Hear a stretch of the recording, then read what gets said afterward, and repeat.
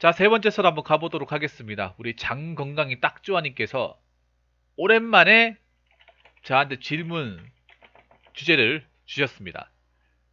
우리 장건강님 정말 감사합니다. 항상 제 방송이 부족하지만 좀뭐 대단한 거 없지만 이렇게 꾸준하게 어떤 컨텐츠 아이디 컨텐츠에 관련된 아이디어도 많이 주시고 어, donate 해주셔서 네, 정말 감사합니다. 자, 세 번째 썰 주제가 이렇습니다. 어, 사람들이 점점 사과를 하지 않는 이유. 그러니까 사람들이 어떤 잘못을 저질러도 먼저 죄송하다, 미안합니다 라고 얘기를 하지 않는다는 거잖아, 맞죠? 음, 이건 저도 어느 정도 공감하는 부분이긴 해요. 저도.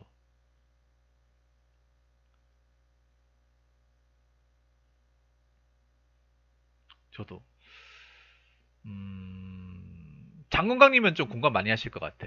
일을 하시고 업무를 보시다 보니까 서비스업 비슷하게 이렇게 사람을 상대하다 보니까 자기들이 실수했음에도 불구하고 자기들이 오히려 자기가 실수, 자기가 실수했으면 자기가 사과를 해야 되는데 사과를 받게끔 하는 경우가 많을 거라 생각합니다. 네, 너희 의미이 뭐세요? 내가 사과를 받아야 되는데 오히려 사과를 하는 경우도 많다고 생각을 해.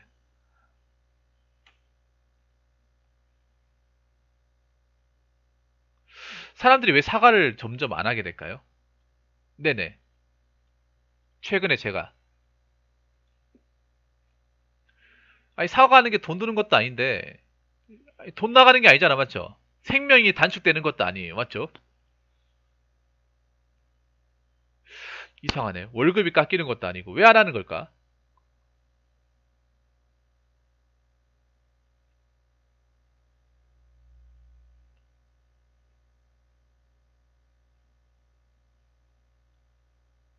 사과는 나중에 하는 것보다 바로 하는 게 좋습니다. 바로. 바로 하는 게 제일 좋아요. 바로 바로 하는 게 가장 효과가 뛰어납니다. 나중에 하면 오히려 의미가 퇴색되는 경우가 많습니다. 아니면 기회를 놓쳐가지 못할 수도 있고요. 나중에보다는 제가 생각하기에 바로바로 하는 게 낫습니다. 최근에 제가 사는 곳에 주차선을 넘으면서 주차하는 차량이 있어서 좀 화가 나는 일이 있었습니다. 저도 이런 경험 많이 했습니다. 사과를 내가 받아야 되는데 사과를 사과를 받기는커녕 사과를 내가 하는 경우가 많았습니다. 제가 예전에 그 아파트 보안업체에서 일을 했다고 했잖아요. 자기가 잘못했어. 자기가 잘못했는데 화를 오히려 자기가 잘못해서 화를 그러니까 자기가 잘못해서 나한테 사과를 해야 되는데 사과를 하는 게 아니라 대체 화를 내가지고 내가 역으로 사과하는 경우가 많았어요. 뭐냐면 제가 이제 아파트 보안 업무 하다 보면 야간에 뭘 하느냐면 주차 딱지를 붙입니다. 그러니까 주차선을 넘었다거나 그 입주민이 아닌데 주차를 한 차량이 있어요. 그러면 여지없이 노란색 그 주차 딱지 있죠. 그 접착력 높은 거. 그걸 붙입니다. 주차 라인이 꺼지지 않은데 주차를 한다거나 아니면 장애인 주차 지역인데 그 주, 장애인 주차 그 그게 있어요. 그 스티커가 있는데 그거 차에 없는 경우 그 마크가 없는 경우는 될 수 없습니다. 그러면 그 차에다 있다 붙여야 돼요. 그래가지고 어 그 주차 라인이 안 돼 차를 돼 있다고 그래서 붙였죠. 붙였는데 보통은 붙이고 나면 저희한테 잘못했다고 와야 됩니다. 아 다음부터 주차 자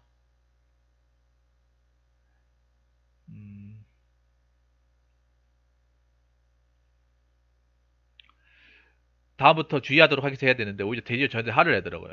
당신이 뭔데 차, 내 차에 차를 붙이냐고. 저희 설명을 했죠. 주차 라인에 차를 대, 대야 되는데 주차 라인 차를 안 들일 경우에 주차, 주차 딱지 붙여할 수 있다고 거기 노란색 주차 딱지에 적혀 있습니다. 그 보면 문구에 적혀 있습니다 하면서 그딴 거 필요 없고 왜 당신 어 그딴 거 필요 없고 왜 차에 붙이냐고 하면서 욕하는 거예요. 어쩔 수 없이 저희가 사과했죠. 사과를 안 해도 되는데 사과를 했습니다. 솔직히 이런 경우 굉장히 많았습니다. 일하면서 아마 그 아파트 일하시는 경비원 그 어르신분들 이런 경우 굉장히 많이 경험하실 거예요. 사과를 받아야 되는데 사과를 대리어 하는 경우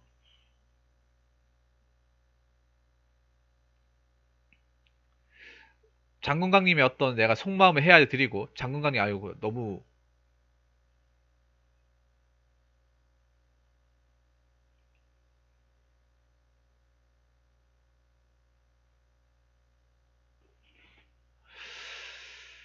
해야 드리고 저 포카리스 저 파워에이드를 좀 채우는 그런 태클을 타야겠습니다.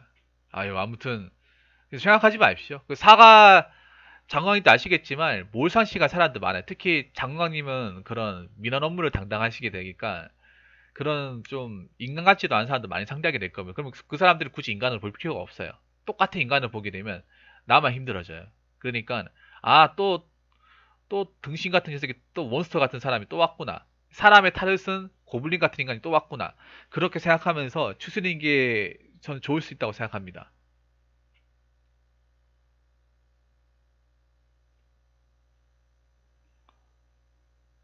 아무튼 좀 자존심을 많이 상하셨겠네요.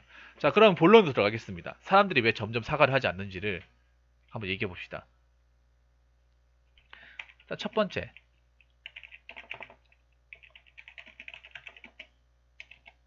첫 번째 이유는 각박해진 세상살이 때문입니다. 각박해진. 지금 여러분들 지금 우리가 살아가는 게 굉장히 팍팍하잖아요, 맞죠? 굉장히 팍팍합니다, 사실. 뭐 직장을 가지신 분도 살아가는 게 쉽지 않고, 직장을 못 가신 분도 살아가는 게 하루하루가 참 답답할 겁니다, 맞죠? 뭔가 열심히 살아도 뭔가 뚜렷한 뭔가 이 답이 안 나온다고 해야 되나? 지금 뭔가 여러분들 사는 게 굉장히 어...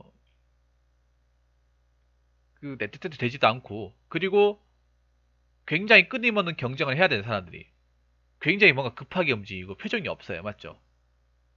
그래서 서울역 같은 데서 막 지하철 탔다가 올라가는 거 보면 사람들이 굉장히 무슨 뭐 어, 발업 질러처럼 굉장히 급하게 움직여요. 맞죠? 급하게 움직이고 뭔가 주변 사람들을 막 이렇게 막 신경 쓴다거나 그렇게 하지 않습니다. 그러다 보니까 누군가한테 실수를 저질러도 그냥 지나치고 넘어가는 경우가 많아요.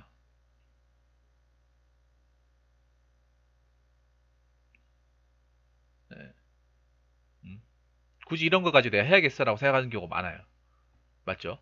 아마 이건 더 심해질 겁니다. 사과를 점점 사과를 하, 안 하는 경우가 더 많아질 거예요. 점점 더 많아질 겁니다.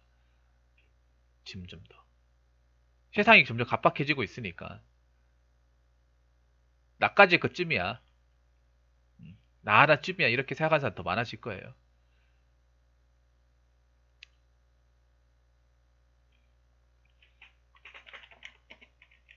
음. 그리고 두 번째는 약육강식의 어, 세상 문화와 음, 어, 껍데기만으로 껍데기로만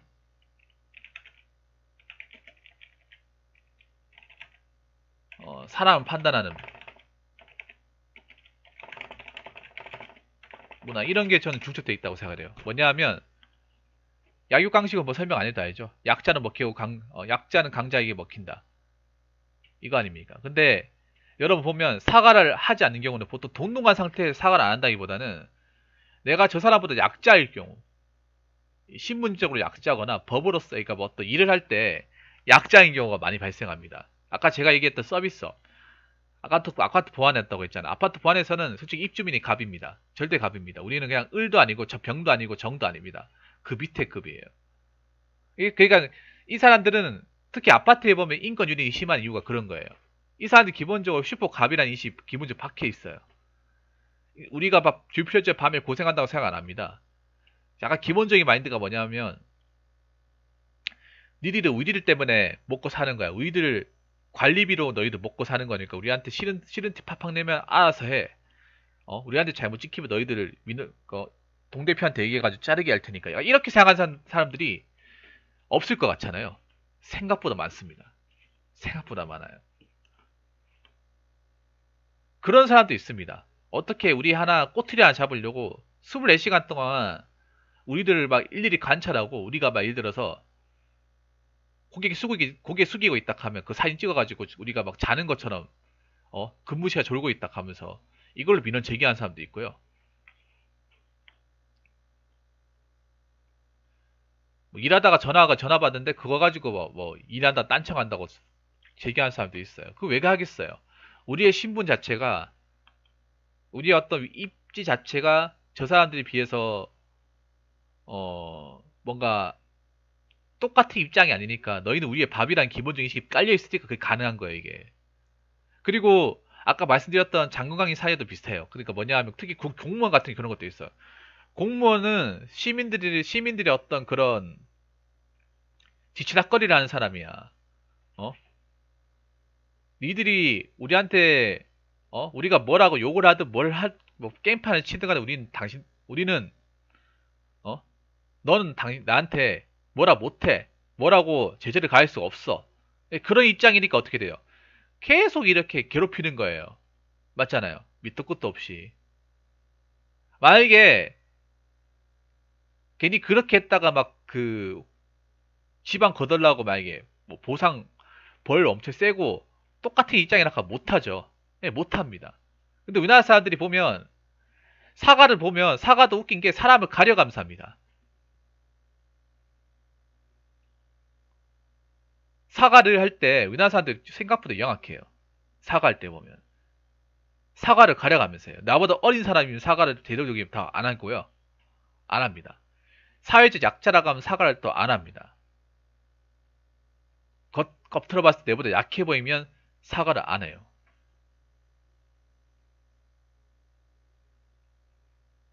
내보다 약해 보인다. 야이가 어리다. 이 사람이 직업이 볼품없이 보인다. 이 사람 행색을 보니까 돈 없어 보인다 하면 사과를 안 해요. 우리나라 사람 이런 게 굉장히 깔려 있어. 어떤 내가 실수를 해도 이 사람이 내가 사과를 해도 될 사람인지 안될 사람인지 스캔을 하고 나서 아 이 사람은 굳이 나보다 나이도 어려 보이고 별로 그렇게 힘의 가지도 없어 보니까 안 해도 되겠네. 그럼 안 합니다. 확실히 이런 거 있습니다, 여러분. 없을 것 같죠? 있습니다, 여러분. 사람을 가려가면서 합니다. 근데 이게 더 심해질 겁니다, 아마. 앞으로 가면 갈수록. 서비스 해보면 압니다, 서비스 해보면.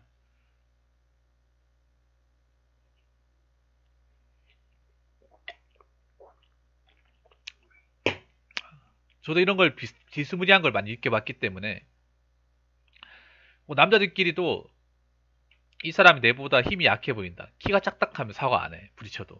안 한다니까.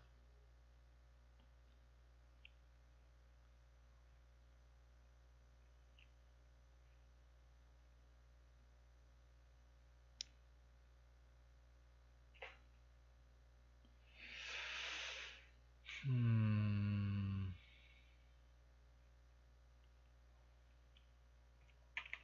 자, 그리고 세 번째, 아까 그, 그라지님 얘기했던 건데요. 아까 얘기했던 거, 사과하지 않는 이유, 세 번째 이유.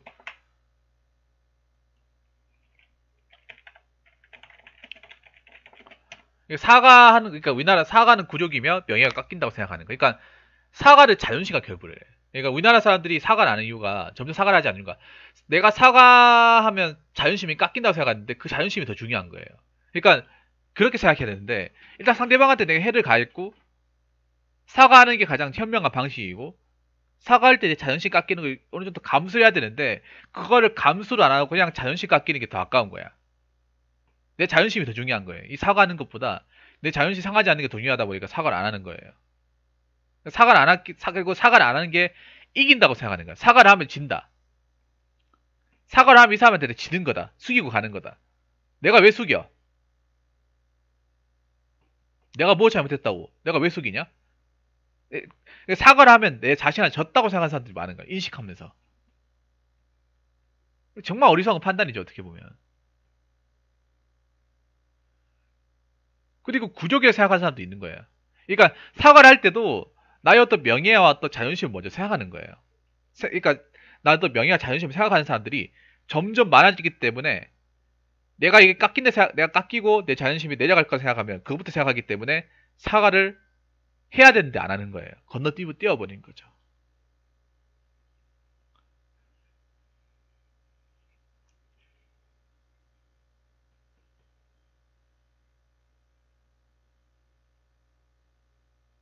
그러니까 사과를 하는 그 순간만 마저도 어떤 득실을 따지는 거예요. 득실을.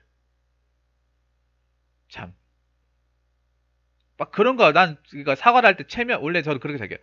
사과를 할 때는 뭐 나이, 체면 이런 거 가지지 않고, 일단은 먼저 진심으로 이렇게 우러나온 상태에서 해야 된다고 생각합니다. 이세령님 어서오세요. 반갑습니다. 네, 처음 뵙네요. 반갑습니다. 오늘 고생하셨습니다. 기본적으로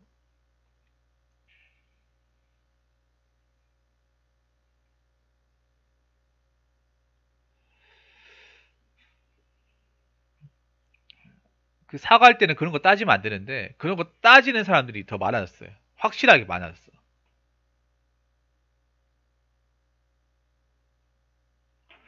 그리고 특히 나이 많은 사람도 그렇지만 나이 어린 사람도 사과를 안 해. 더 안 하는 것 같아. 자, 그 네 번째는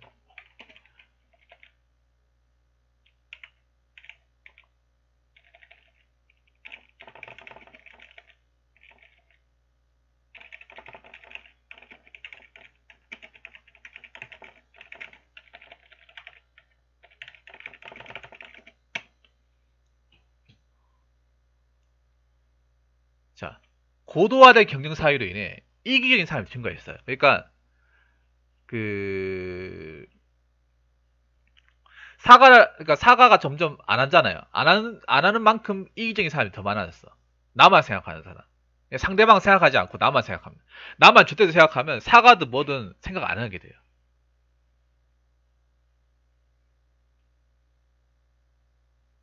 나만 안 다치면 그만이야. 나만 손해 안 보면 그만이야. 뭐 저 사람이 어떻게 됐든 간에 어? 나만 아니면 그만이야. 그래서 그런 경우 많잖아요. 최근에 여러분 보시면 여러분 최근에 왜 그 사람들 분노하게 사, 만든 사건이 두 개 있었습니다. 기억하시지 모르겠는데 교통과 관련된 사건이 두 개 있었어요.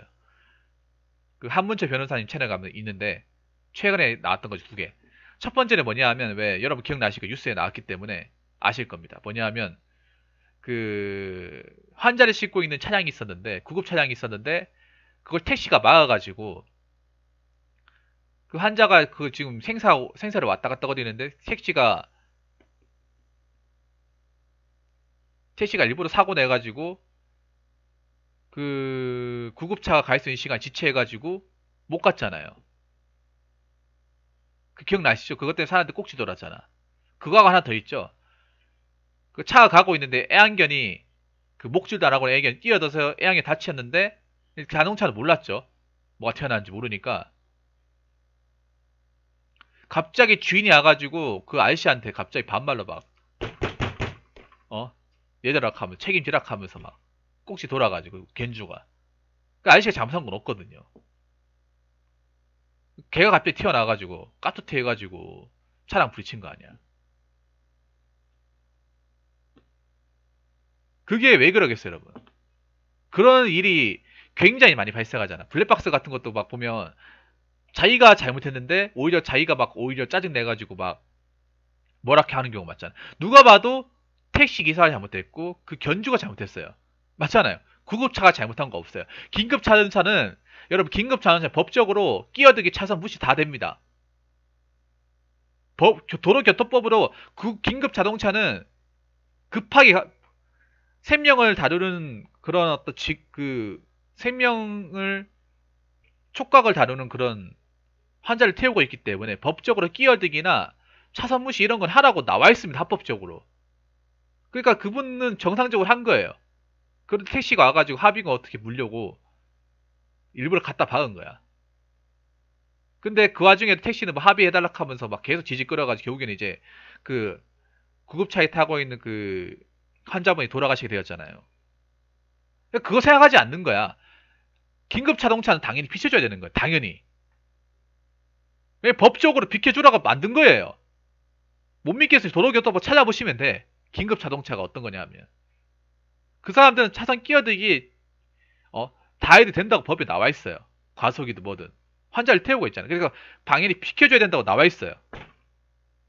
그럼 당연히 비켜줘야 되잖아요. 어? 내가 비켜주지 않으면 저 환자분이 어떻게 될지 모른다는 거. 법으로 비켜주라고 했는 거 다 알고 있잖아요. 근데 저기서 자기 개인적 이득을 취한 거야. 합의금 받으려고. 돈을 얼마, 돈 얼마 벌려고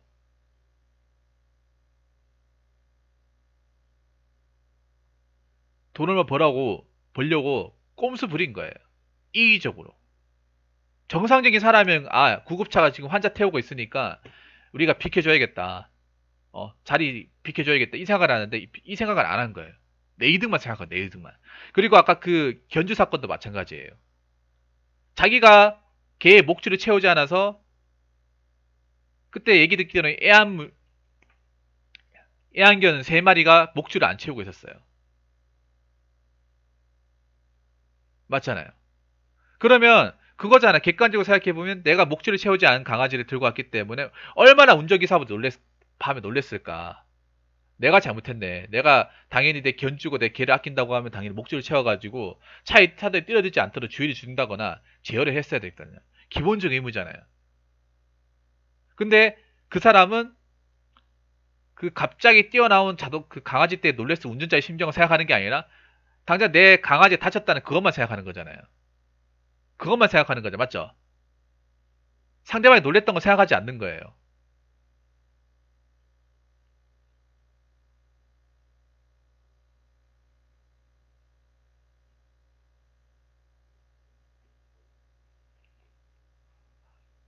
그런 사람들이 지금 최근에 많이 늘어나고 있잖아. 맞죠? 어.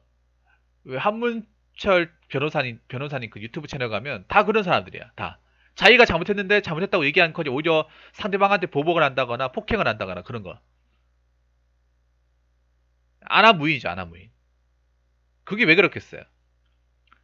굉장히 경쟁을 하면서 남을 짓밟고 무시해도 기본적으로 상관없다. 남들이 상처 보는 것보다 내 이득이 더 중요하다. 그렇게 생각하는 사람들이 많아진 거예요. 기본적인 도덕적 양심을 저버린 사람들이 많아지는 거예요. 남이 어떻게 해도 신경 안 써. 내가, 내가 더 중요해. 내게 최고야. 어? 남들이 뭐 그건 자기가 재수 없는 거지. 누가 그, 누가 내 옆에 붙으래?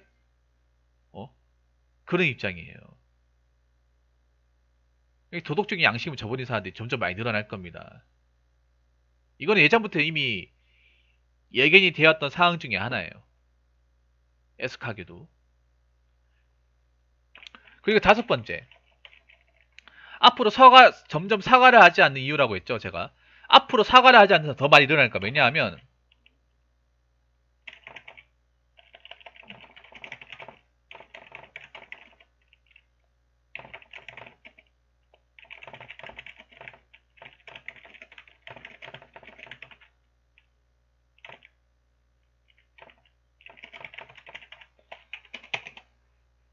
그리고 요즘 애들은 아마 내가 봤을 때 사과를 안할 거예요. 요즘 애들이 성인 되면 사과 안 할 겁니다. 분명히. 이거 더 커질 겁니다. 사실 이거 얘기하기 싫지만 민식이법 두 발은 자질이 잘못했잖아 맞죠?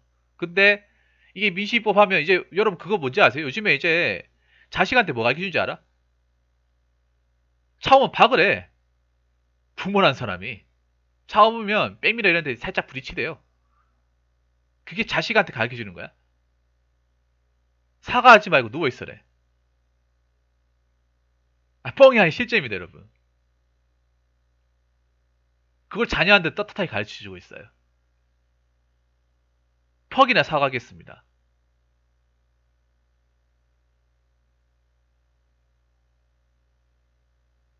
퍽이나. 여러분 생각해보세요. 요즘에 애 키우는 부모님 중에 전부 다 그렇지는 않겠지만 자녀 예전이나 사과하는 거, 너 잘못했어 이렇게 얘기하는 사람 솔직히 그렇게 많이 본 적이 없어요.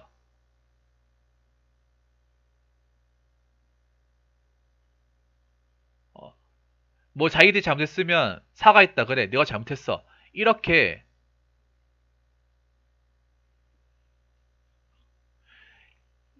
얘기하는 사람을 본 적이 없다 보기가 좀 힘들어. 내가 이거 왜 하는지 아세요? 제가 이거를 왜 하냐면 제가 아파트 보안 또 써도 얘기 안 할 수가 없는데 아파트 보안업체 하면 그 오후 2시나 3시 되면 그 애엄마들이 자기 애들이 이제 어린이집 유치원집 보내잖아요. 그 3시 반 되면 이제 버스 입구 쪽에 애들 애들 데리러 온단 말이에요. 그러면 와가지고 애들 그냥 집에 바로 보내는 게 아니라 그 놀이터 같은 데 놀고 하면 애들끼리 뭐 싸우고 실수하지 않고 사과하는 날본 적이 없어. 그걸 내가 눈으로 많이 봤었거든요. 어머니가 먼저 야 사과해 네가 잘못했으니까 그렇게 얘기한 거 내가 그렇게 본 적이 없어요. 그래서 자식끼리 싸움하면 엄마끼리 싸움하는 경우 굉장히 많아. 굉장히 많아요. 자식끼리 우리가 잘못했으니까 사과해. 너 잘못했으니까 얘한테 사과해. 이렇게 얘기하는 게 별로 보기 힘들어 요즘에. 보통 엄마끼리 싸움하는 경우 많아 이게 불거져가지고.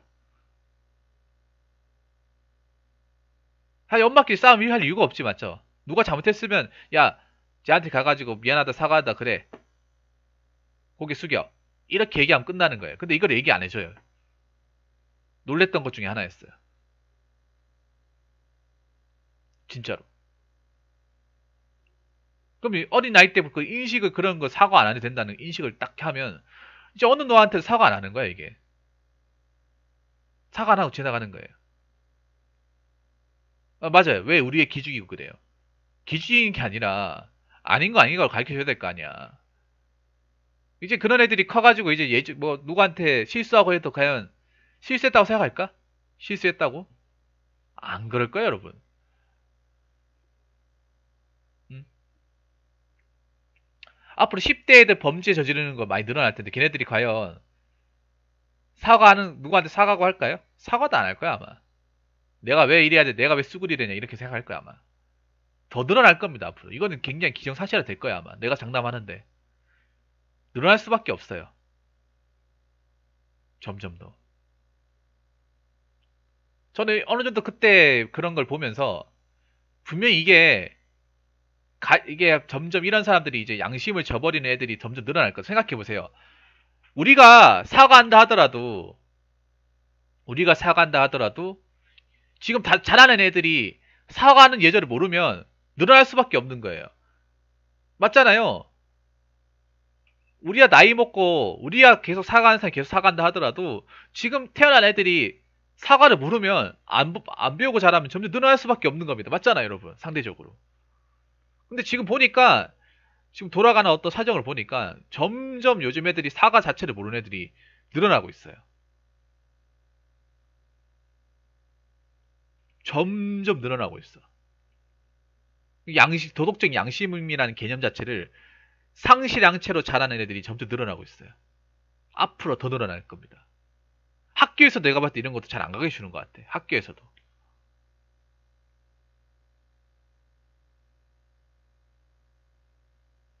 이게 점점 나중에 가면 한 10년만 지나면 엄청나게 심각해져요. 지금도 심각하지만. 그렇죠. 사과 무시당하는 거. 등신 같은 거죠. 정말 그런 거 가르쳐 주면 진짜 무시하는 거야. 그래서 이 사람들이 점점 사과를 하지 않는 이유가 이렇게 있습니다. 근데 앞으로 더 늘어날 겁니다. 애석하게도. 이건 우리가 개개인이 막을 수 없는 지경까지 이르렀어요. 오히려 내가 사과, 사과라고 얘기하면 오히려 내가 꼰대 같은 사람 변해버리는 거야. 이런 거 강요한다고 꼰대 같은 사람 변해버리는 거예요. 근데 지금 이 돌아가는 형식이 지금 돌아가는 형국이 이렇습니다. 안타깝지만 안타깝지만 지금 돌아가는 형국이 이렇다는 거. 이게 어느 정도 막을 수 없는 수치라는 게 어, 씁쓸한 현실입니다. 근데 제가 여기서 얘기하고 싶은 거는 뭐 이 어떻게 막지 못한다 하더라도 적어도 제 방송을 보시는 분들만큼은 뭐 제 방송을 보고 있다거나 제 영상을 보는 분들은 그래도 사과하시기 바라겠습니다. 어, 제가 서비스 하면서 그나마 좀 늘어난 게 뭐냐면 업 수그리는 거, 사과하는 거 이런 건 정말 많이 늘어났어요. 사과하는 거는 빨리빨리 늘어났습니다. 이 보안업체는 사, 사, 그 일하는 거에 한 반절이 사과하는 거거든요. 죄송합니다. 이거 그래서 이런 거는 좀 나름 잘 배웠다고 생각이 되는데 아무튼 여러분들 제 방송 보시는 분들만큼은 누구한테 실수를 저질렀으면 그냥 바로 사과하세요. 그게 남는 겁니다. 그게 그게 이득이고 현명한 겁니다. 자존심 생각하지 마세요. 자존심 밥 먹여줍니까? 어? 여러분 생각해 그렇게 사과 안에 자존심 챙긴 거 있어요? 뭐 나아진 거 있습니까? 없어요. 오히려 손해만 더 많아질 거야. 여러분 걷기- 길 가다 어깨빵 하는 것도 그냥 수그리면 돼. 그냥 죄송하다고. 내가 잘못 봤으면 세- 죄송합니다 하라고. 수그리면 아무 일 안 일어나요. 괜히 거기서 사고 안 하고 그냥 지나가니까 괜히 옆역사 잡히고 싸우고 하는 거야. 진짜로. 잔시 찾다 골로 가는 경우 굉장히 많아요. 그러니까 여러분들 제 방송 보시는 분들만큼은 그냥 내가 억울해도 상대방의 손해를 감수해서 먼저 사과하고 손 내미면 웬만하면 큰일 발생 안 합니다. 훈훈하게 끝나요. 그렇기 때문에 사과하시기 바라겠어요. 아무리 세상이 뭐 사과를 점점 하지 않는다고 얘기를 이렇게 뭐 변해낸다 하더라도 정작 우리들만큼은 사과합시다. 그게 정답입니다. 자, 이상으로 세 번째 썰 마치도록 하겠습니다.